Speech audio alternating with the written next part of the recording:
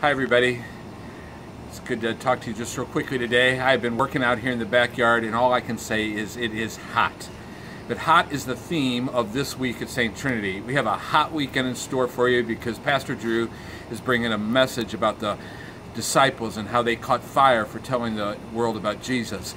Right after church, we have our ice cream sundae Sunday to kind of cool you down from the hot. Just to remember, no Sunday school in July. Then following that is our connecting point gathering. It's a great way to take the next step, food, parish house fun, as well as conversation, discussion. Then this week is our lead up to Vacation Bible School Wednesday morning.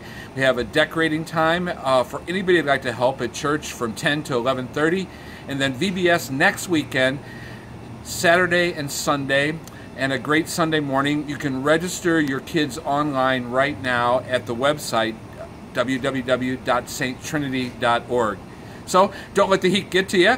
Come to church this weekend. The air conditioners are working, so the heat will only be the heat of the Holy Spirit as He leads us again to carry out our mission of sharing Jesus with our